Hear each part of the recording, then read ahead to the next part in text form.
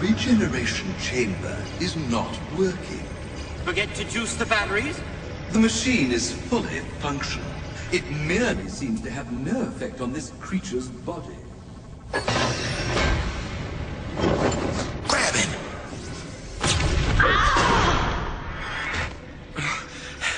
I am transformed.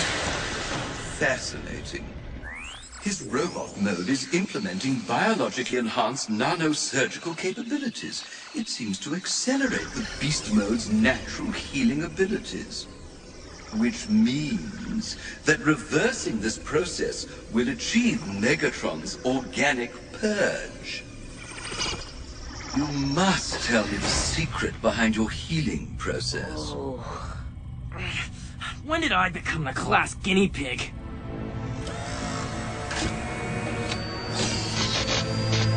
Okay, okay, I'll tell. There's really not very much to it.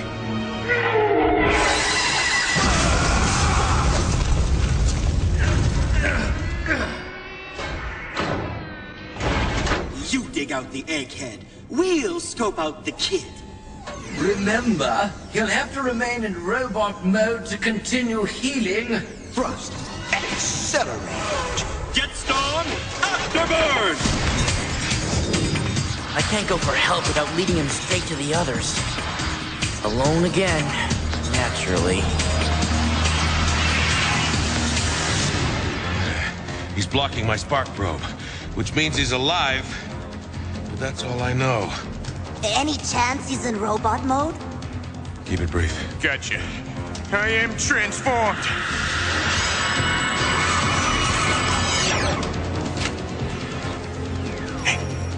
Signature. He's close.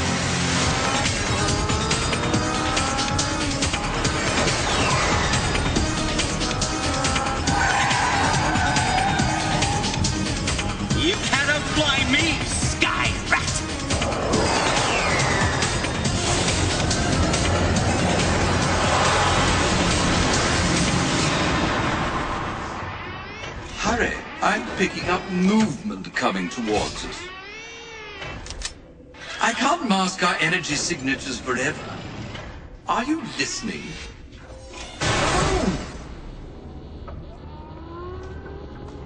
Hey, The kid's right below us and heading deeper.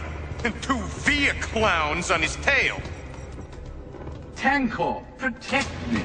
That's an order. I think it's time we come to an understanding about who gives the orders. You? Oh, I'm sorry. Were you happier when my vocabulary was limited to Tankor Smash? Poetic, perhaps. Yet somehow it just isn't me anymore. Not since my dormant memories were released. I'm not quite the maximal that I was. Neither am I what Megatron made me. My experiences in both camps have afforded me a greater clarity. I've grown to realize Megatron's scheme for New Order is elegant in its simplicity, yet suffering from a single flaw. Megatron. Cybertron requires a leader uncontaminated by a beast mode. Someone like me. And unlike Megatron, I will always have use for your skills. I am programmed to serve Megatron. I have no alternative. Trust me, there are always alternatives. Oh, Yeah!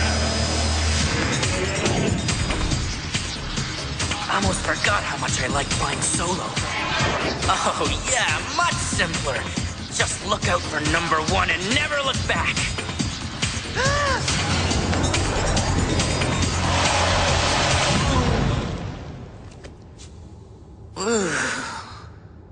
Sure you don't want to look back?